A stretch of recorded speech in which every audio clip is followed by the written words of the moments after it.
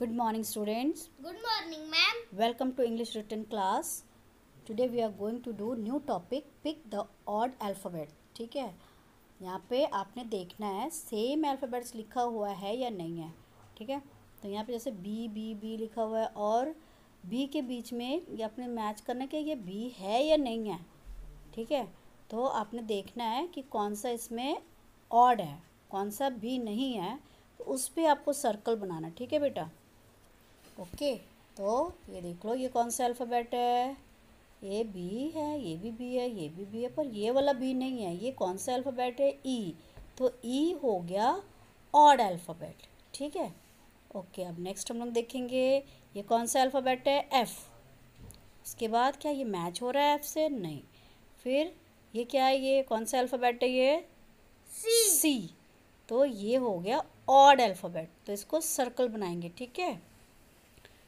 जो मैच नहीं होता है, वो ऑड होता है। ठीक है? ये एच है और ये क्या है? एच है? नहीं है। तो इसको हम लोग सर्कल बनाएँगे, ठीक है?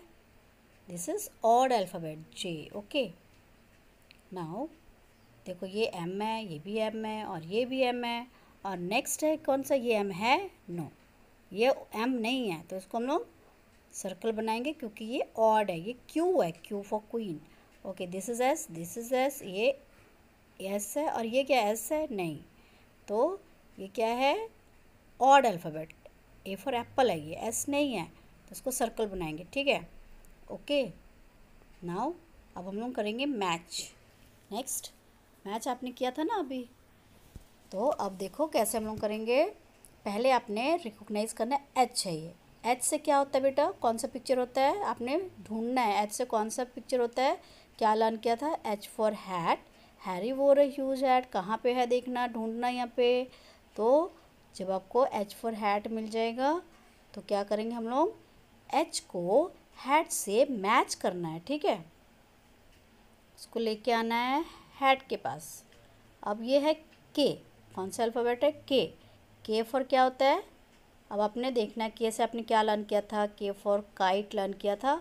तो क्या ये काइट है? तो इसको काइट को के को काइट के पास लेके जाना है। ठीक है? एन एन फॉर क्या लर्न किया था आपने? N N for nail nail learn किया था। तो आपने यहाँ पे ढूंढना है, देखना है कहाँ पे है। एन फॉर नेल तो आपको मिल जाता है। फिर आप एन को कहाँ लेके जाओगे? नेल के पास। ओके नाउ नेक्स्ट ये कौन सा अल्फ़ाबेट है?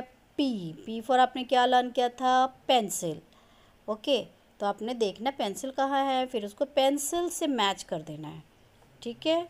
Okay next alphabet is E E for क्या होता है बेटा? आपने क्या लर्न किया था? एग तो ई को एग के पास लेके जाना है एग से मैच करना है। ठीक है? अब आपने एक बार देखना है, कुछ रह तो नहीं गया?